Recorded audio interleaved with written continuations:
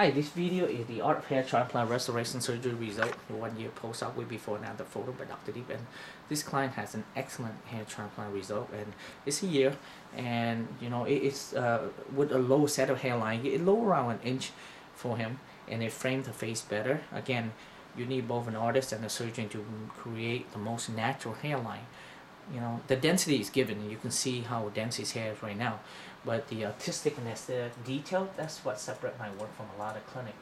And i'm going to show the audience what he looked like before. And again um, uh, it's you know he's maybe in his 60 now i don't remember but it's really now he looks like he's 39 years old. He has very very thin hair. And a lot of clients keep asking me what's a thin hair? Can thin hair have good result? Of course you can. And you see look at how his hair is he has fine hair, very thin, silky hair. And again, we lower the hairline, broaden the temple. You know, I lift the hair up so you can see.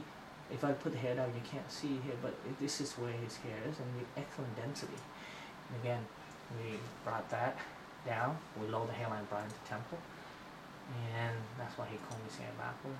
And top view, and look at that, excellent, excellent density, and that's where he was. And this is where he is now. Can you look up for me? And you see how natural it is and it's very dense. And I give him a widow's peak too because when we went through his old photo when he was younger, he actually had a widow's peak. But through the years, he started losing his hair and then he losing his widow's peak. So I recreated for him.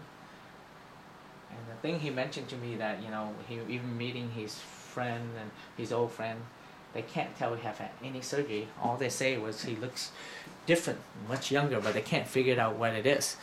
Why? It's the important thing is with hair transplant, when you create it right, when you do it very proportional and it very um, perfectly aligned and proportion your overall face, it, and because there's no scar in front, you can't tell.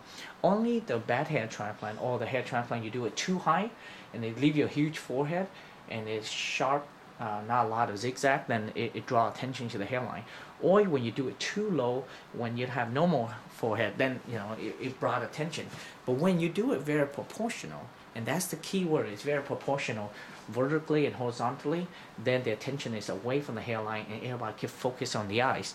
And again, um, this client look to me 39 years old again. Why? Because he's the hairline brought back his youth and his handsome face. Thank you.